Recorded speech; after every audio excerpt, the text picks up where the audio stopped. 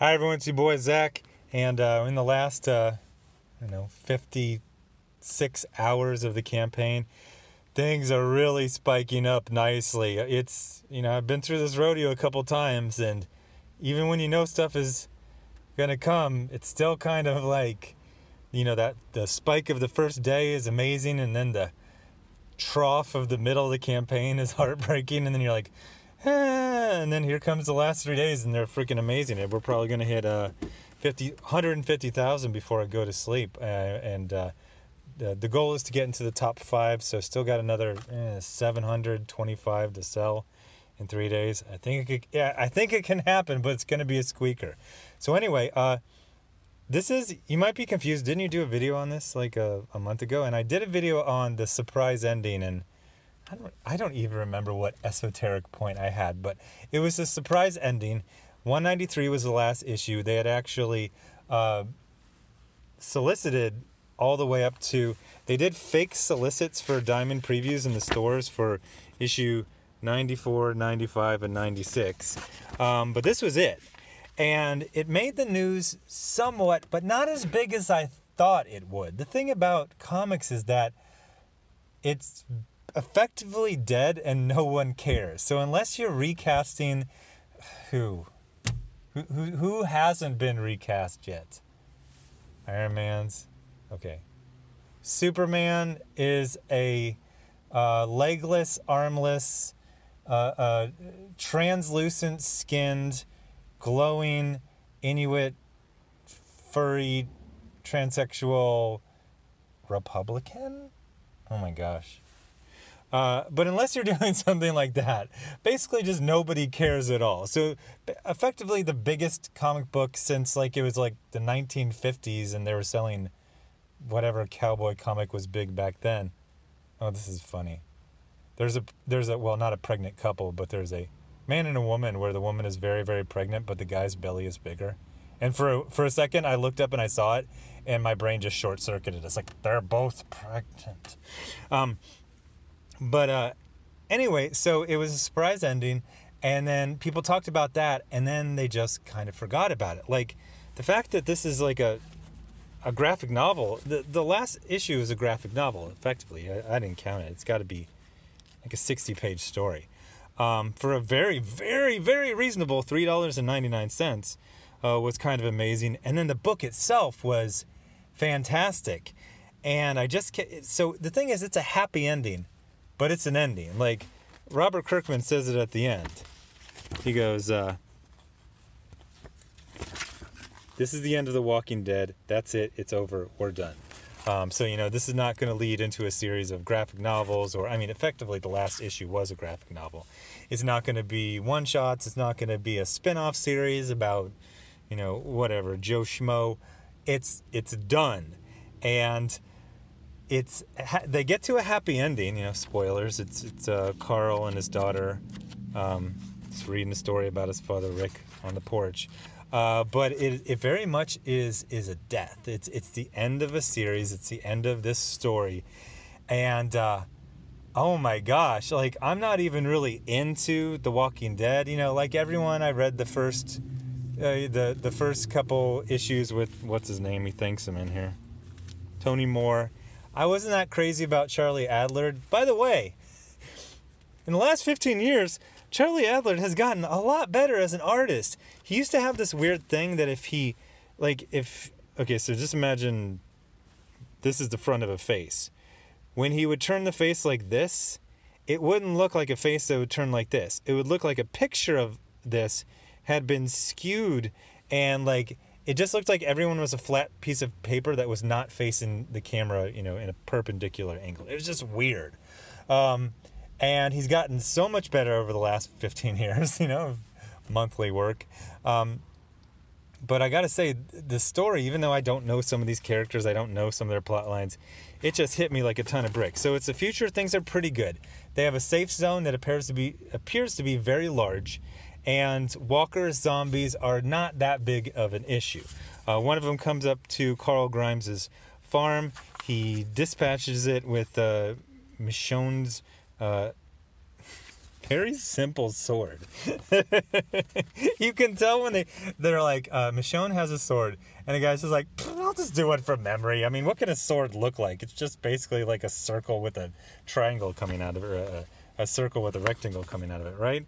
Uh, so what happens is there's very few uh, walkers and they're being used as a sideshow. He kills one and then he ends up getting in trouble with some character's kid who I don't know who he is. Um, but apparently he's a little problem. So they're like, he goes to court, can't show all of it, and they're like, uh, okay, so you're not in trouble, but you have to replace the walker. Till so he's kind of like, hey, so instead of replacing the walkers, by the way, spoilers go buy this, spoilers go buy it. Okay, you're back, you bought it. He's like, instead of replacing the walker, why don't I just kill all the other walkers and then go on the run? So he ends up meeting some of the other characters, and um, I don't know most of these characters. He's like, I'm talking to old dude and the other lady and the person with the scar. I was like, I don't know who any of these people are. But it, it, was very well written for stuff that I just absolutely did not understand. Then he has to go back and he has to go to trial. And this is the part that got me. So um, I, there was. I've been reading, you know, one of the things I've been really roasting SJWs is they're like, this is my story about diversity and how racism is bad. That's not how you write a story. That's how a thought writes a story.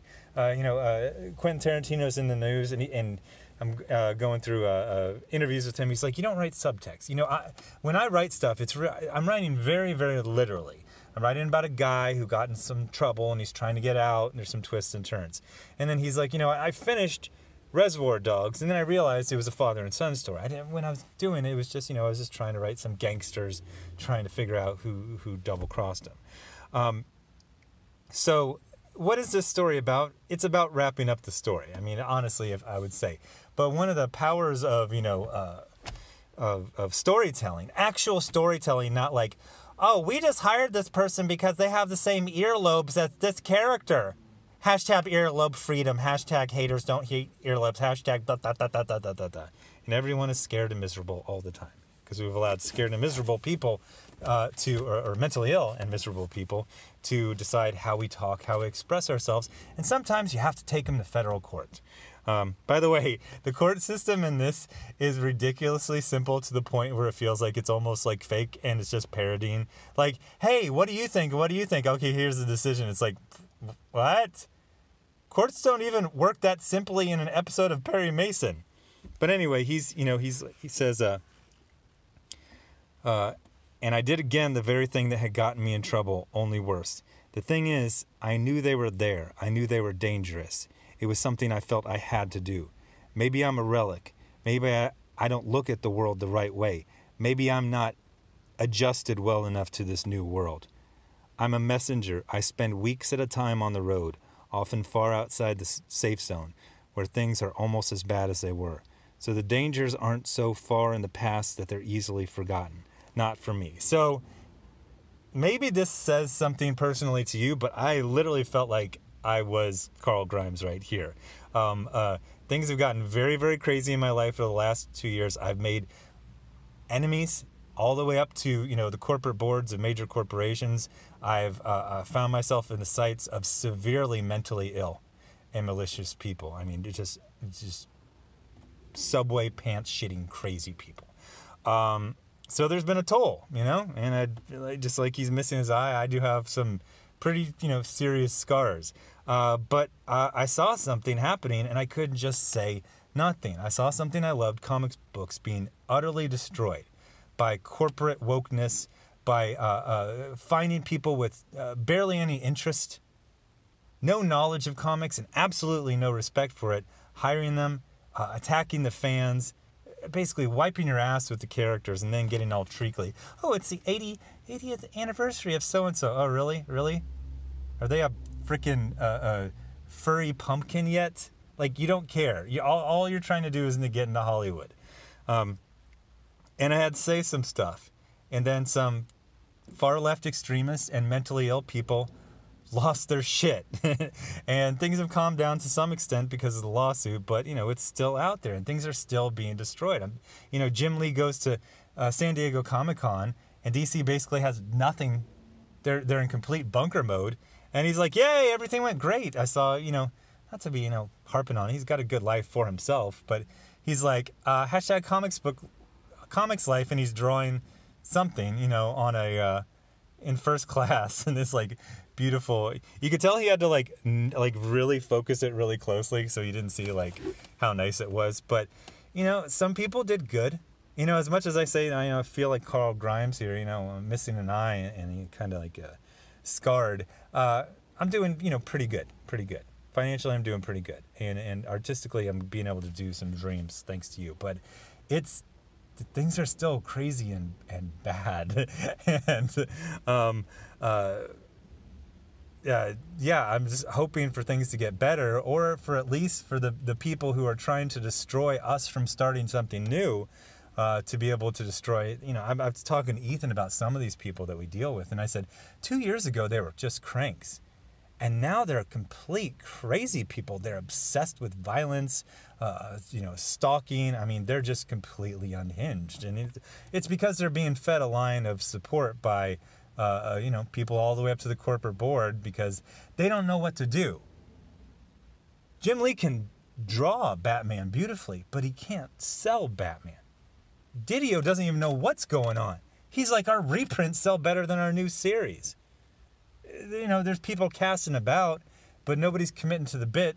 You know, Rob Liefeld's like, oh, I'm gonna be on. Uh, I got a new X series. Yeah, I'm gonna draw the first issue and the last. What the hell? It's a mini series, dude. Draw all of them. Oh, I'm on Snake Eyes. Let me guess. Let me guess. You're gonna draw the first issue and the last. Okay, great. There's a Black Widow movie written by a woman who doesn't like action or guns or violence, and she doesn't like superhero movies and even she admits that her, her wah wah wah. So I was actually kind of getting sad because, you know, for a couple reasons, but mainly because like this this uh, story is a masterpiece and nobody's talking about it. It came out and it it wasn't it didn't fall down the memory hole. It was written at the bottom of the memory hole because that's where comics are. Like we're in the post comics apocalypse eh, pre-apocalypse, post-apocalypse. It's definitely an apocalypse. It's either near or we're in it or it's over. But oh my gosh, I mean, I mean, I'm I'm in the, I'm in the top five, or no, I'm, excuse me, don't get cocky. You're in the top, I'm in the top six of graphic novels. I'm outselling every single Marvel graphic novel. I shouldn't be in the top 50. It doesn't make any sense. You guys have all of these characters Batman, Spider Man, Daredevil, freaking Jubilee. I shouldn't be able to come within a hundred spots of you. And I shouldn't be able to come within 50,000 sales. And I'm outselling all of Marvel, all of Dark Horse. The only people outselling me are Image and DC and Tokyo Pop. But I think I can, I think I can pass this Tokyo Pop. You Tokyo Pop. Oh, I got your number. Uh, so anyway, uh, oh, I kind of worked myself up on that one. So thanks for watching. By the way, you know, uh, go check this out. It's a second printing. It's three ninety nine. I'm sure there's 20 copies of this at every single comic book store. Oh, are there comic stores in your town? Because there's major towns out there in America that no longer have them. Uh, thanks to these uh, uh, mentally ill, malicious people and far left extremist ideologue extremists. Uh, so thanks for watching. Subscribe. Make sure you're still subscribed. Hit the bell for notifications. Thanks everyone giving the GoFundMe. Oh, it's getting stuffy in here. Uh, so in the last, I don't know. It's like it's like uh, 11:59, but it's Pacific time.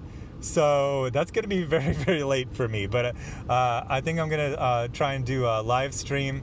Um, uh, I, I think I'm actually gonna check into a hotel to make sure I have consistently good, uh, you know, uh, internet.